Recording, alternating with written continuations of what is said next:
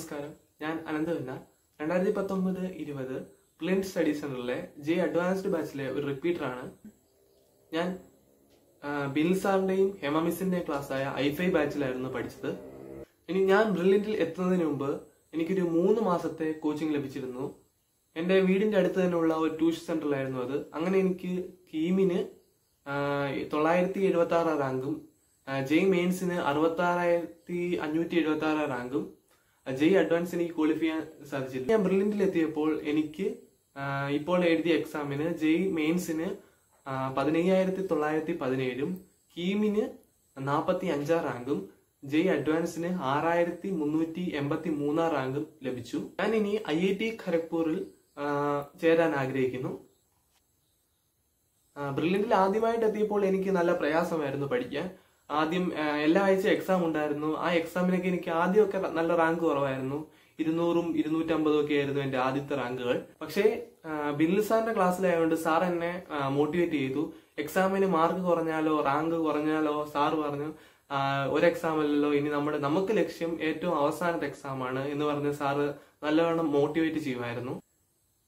എനിക്ക് എപ്പോൾ ടെൻഷൻ ആയാൽ പോലും ഞാൻ ബിന്ദു സാറിനെ വിളിക്കുമായിരുന്നു. ഞാൻ ബ്ലിൻഡിൽ എത്താൻ സാധിച്ചു തന്നെ എനിക്കൊരു വലിയ ഭാഗ്യമായിട്ടാണ് തോന്നുന്നത്.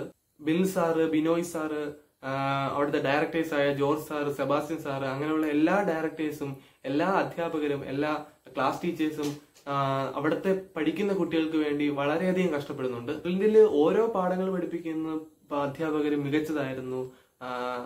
Sabu sir maths പഠിപ്പിക്കാനായ Sabu sir M B K അങ്ങനെയുള്ള എല്ലാവരും മികച്ചത് തന്നെയായിരുന്നു. Physics പഠിപ്പിക്കാനാണെങ്കിൽ S P sir Chandraraj sir ഇവരൊക്കെ ഏറ്റവും മികച്ച അധ്യാപകർ തന്നെയായിരുന്നു. കെമിസ്ട്രി പഠിക്കാൻ ആണെങ്കിൽ മത്തായി സാറ് അങ്ങനെയുള്ള എല്ലാ അധ്യാപകരും ഒന്നിനൊന്ന് മികച്ചത് തന്നെയായിരുന്നു. ഓരോ എക്സാം കഴിയുമ്പോഴും ഡൗട്ട് ഡിസ്കഷൻസ് ഉണ്ടായിരുന്നു. പിന്നെ ഡൗട്ട് ക്ലിയർ സെഷൻസ് അങ്ങനെ നമുക്ക് എന്ത് ഡൗട്ട് വന്നാലും നമുക്ക് ചോദിക്കാനുള്ള ഒരു അവസരം ബ്രില്യന്റിലുണ്ടായിരുന്നു ഞാൻ ക്ലാസ് ഞാൻ ക്ലാസ് ഉള്ള ദിവസങ്ങളിൽ ഒരു അഞ്ച് മണിക്കൂർ പഠിക്കുമായിരുന്നു ക്ലാസ് ഇല്ലാത്ത ദിവസങ്ങളിൽ ഒരു പന്ത്രണ്ട് മുതൽ പതിനഞ്ച് മണിക്കൂർ വരെ പഠിക്കുമായിരുന്നു അവിടെ വരുന്ന എല്ലാവർക്കും എല്ലാ കുട്ടികൾക്കും ഉള്ള ഒരു സംശയമാണ് ഏത് വിഷയത്തിന് ഏത് പുസ്തകം പഠിക്കും എന്ത് റെഫർ ചെയ്യും എന്നെല്ലാം അവിടുത്തെ സംശയങ്ങളാണ്. ഞാൻ ഫിസിക്സ് പഠിച്ചിരുന്നത് സെന്റ് ഗേജും തന്നെ അവിടുന്ന് തന്ന റെസണൻസും ആയിരുന്നു. കെമിസ്ട്രി ഞാൻ ഇനോർഗാനിക് കെമിസ്ട്രിക്ക് റെഫർ ചെയ്തിരുന്നത് mainly N C R T തന്നെയായിരുന്നു എക്സെപ്റ്റ് ടു ചാപ്റ്റേഴ്സ് അത് ഒന്ന് മെറ്റലർജിയും പിന്നെ ഒന്ന് ക്വാളിറ്റേറ്റീവ് അനാലിസിസും ആയിരുന്നു. ഓർഗാനിക് കെമിസ്ട്രിക്ക് ബ്രില്ലിന്റെ നോട്ട്സും എൻ സി ആർ ടിയും പിന്നെ ജി ആർ ബി റെഫർ ചെയ്തിരുന്നു. പിന്നെ ഫിസിക്കൽ കെമിസ്ട്രി ഞാൻ എൻ സി ആർ ടിയും ജി ആർ ബി ആയിരുന്നു റെഫർ ചെയ്തിരുന്നത്. ഞാൻ സെൻഗേജ് ഗേജ് റെഫർ ചെയ്തു. അതോടൊപ്പം തന്നെ ഞാൻ എല്ലാ പ്രീ എല്ലാ പാഠം പഠിപ്പിക്കുമ്പോഴും അതിന്റെ പ്രീവിയസ് ഇയർ ക്വസ്റ്റ്യൻസ് ജെ അഡ്വാൻസിന്റെ ജെ മെയിൻസിന്റെ ഒപ്പം ചെയ്തിരുന്നു. കെമിസ്ട്രി ഞാൻ വളരെയധികം വലിച്ചു വരെയൊന്നും പഠിക്കില്ലായിരുന്നു നമ്മുടെ സിലബസ് നമുക്ക് തന്നിട്ടുണ്ട്. ആ സിലബസിലുള്ളത് മാത്രമേ ഞാൻ പഠിച്ചിട്ടുള്ളൂ. പ്രീവിയസ് ഇയർ ക്വസ്റ്റ്യൻസ് നോക്കി ഞാൻ ഒരു വ്യക്തമായിട്ടൊരു അനാലിസിസ് നടത്തിയിരുന്നു. ഏതൊക്കെ ചോദിക്കും ഏതൊക്കെ ചോദി ഏതൊക്കെ പാഠഭാഗങ്ങൾ ഇമ്പോർട്ടന്റ് ആണ് എന്നെല്ലാം ഞാൻ നോക്കി ഒരു വ്യക്തമായ അനാലിസിസ് നടത്തിയിരുന്നു. പിന്നീട് ബ്രില്യന്റിൽ നടത്തിക്കൊണ്ടിരുന്ന മോക്ക് ടെസ്റ്റുകൾ എന്നെ വളരെയധികം സഹായിച്ചു. ആ എക്സാം ഓരോ എക്സാം കഴിയുമ്പോഴും അതിനകത്ത് എനിക്ക് തെറ്റിപ്പോയതും കിട്ടാത്തതുമായ എല്ലാ ക്വസ്റ്റ്യൻസും ഞാൻ ചോദിച്ച് മനസ്സിലാക്കി. എന്റെ ഫ്രണ്ട്സിനോടും അല്ലെ സാറുമാരോടും എല്ലായിടത്തും ചോദിച്ച് ഞാൻ മനസ്സിലാക്കി. ലോക്ക്ഡൌൺ കാരണം ഞാൻ വീട്ടിലെത്തിയപ്പോൾ എങ്ങനെ പഠിക്കും ഇനി എങ്ങനെ പോകും എന്നൊരു പേടി എനിക്കുണ്ടായിരുന്നു. പക്ഷേ അവിടുത്തെ ബ്രില്യന്റിലെ ആ എഫിഷ്യന്റ് ആയിട്ടുള്ള അധ്യാപകരും അവിടുത്തെ ക്ലാസ് ടീച്ചേഴ്സും അവിടുത്തെ ഡയറക്ടേഴ്സും എല്ലാം ഒപ്പം നിന്നതുകൊണ്ട് എനിക്ക് ലോക്ക്ഡൗൺ കാലം ഒരു വിജയമാക്കി തീർക്കാൻ എനിക്ക് സാധിച്ചു. ഓരോ ആഴ്ചയും നാലും അഞ്ചും എക്സാമാണ് ഞാൻ എഴുതിയത്. എനിക്ക് ടെൻഷൻ വരുമ്പോഴെല്ലാം ഞാൻ ബിൽ സാറിനെ വിളിക്കുമായിരുന്നു. ബിൽ സാറ് എന്നെ മോട്ടിവേറ്റ് ചെയ്യും.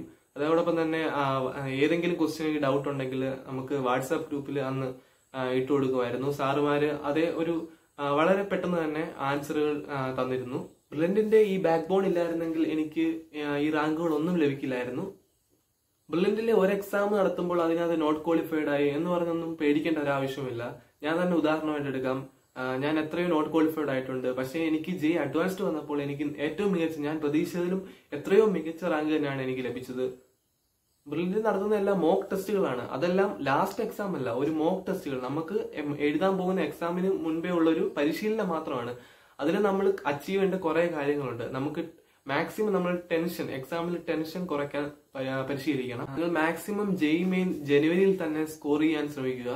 എനിക്ക് സെപ്റ്റംബറിൽ നടന്ന JEE main JEE main mark കൂടുതലായിരുന്നു. എങ്കിലും പെർസെന്റേജ് കുറയുകയാണ് ഉണ്ടായത്. അപ്പോൾ ഞാൻ വളരെയധികം സങ്കടപ്പെട്ടു. പക്ഷേ അന്ന് ബിനിൽ സാറിന്റെ വാക്കുകളാണ് എന്നെ സപ്പോർട്ട് ചെയ്തത്. അതോടൊപ്പം തന്നെ ജോർജ് സാറും ബിനോയ് സാറും എല്ലാം നമുക്ക് വീഡിയോ കോൺഫറൻസിലൂടെയും അങ്ങനെ എല്ലാം നമുക്ക് സപ്പോർട്ടീവായിട്ട് നിന്നു. അതെല്ലാം കൊണ്ടാണ് ഞാൻ ജെയ് അഡ്വാൻസ് മാത്രമായിരുന്നു എന്റെ ലക്ഷ്യം. ജെ അഡ്വാൻസിന് എത്രയും മികച്ച റാങ്ക് എനിക്ക് ലഭിക്കുക എന്ന ഒരു ലക്ഷ്യത്തോടെയാണ് ഞാൻ പഠിച്ചത് പിന്നെ. ജെ അഡ്വാൻസിന്റെ സിലബസ് മാത്രം നോക്കി ഞാൻ പഠിച്ചു. അങ്ങനെ എനിക്ക് ജെ അഡ്വാൻസിന് ഏറ്റവും മികച്ച റാങ്ക് ലഭിച്ചു. ഇപ്പോൾ ഞാൻ ബ്രില്യന്റിലെ ഗോൾഡ് മെഡലിന് അർഹനാണ്. കേരള എഞ്ചിനീയറിംഗിന് നാൽപ്പത്തി അഞ്ചാം റാങ്ക് ലഭിച്ചതിനാണ് എനിക്കിപ്പോൾ ബ്രില്യന്റിൽ നിന്ന് ഗോൾഡ് മെഡൽ ലഭിക്കുന്നത്. നിങ്ങൾ ഒരു ടെൻഷനും അടിക്കാതെ എത്രയും കൂളായിട്ട് പഠിക്കാൻ പറ്റുമോ അത്രയും കൂളായിട്ട് തന്നെ പഠിക്കുക. ഒരു ടെൻഷനും പാടില്ല. നിങ്ങൾക്ക് എത്രയും മികച്ചതായിട്ട് വർക്ക് ചെയ്യാൻ പറ്റുമോ അത്രയും മികച്ച വർക്ക് ചെയ്യുക. മാക്സിമം ക്വസ്റ്റ്യൻസ് ചെയ്യുക. തിയറി എല്ലാം കൺസെപ്റ്റ് എല്ലാം ക്ലിയർ ആക്കുക. ആ, നിങ്ങ- നിങ്ങളുടെ ലക്ഷ്യം നേടുന്നത് വരെ നിങ്ങൾ സോഷ്യൽ മീഡിയ അതുപോലുള്ള നിങ്ങളുടെ എൻജോയ്മെന്റ് എല്ലാം ഒഴിവാക്കുക. അങ്ങനെ ഹാർഡ് വർക്കിനോടൊപ്പം തന്നെ ഒരു സ്മാർട്ട് വർക്കിലൂടെ നിങ്ങൾക്ക് വിജയികളാകാം. എല്ലാവർക്കും ആശംസകൾ നേരുന്നു. നന്ദി.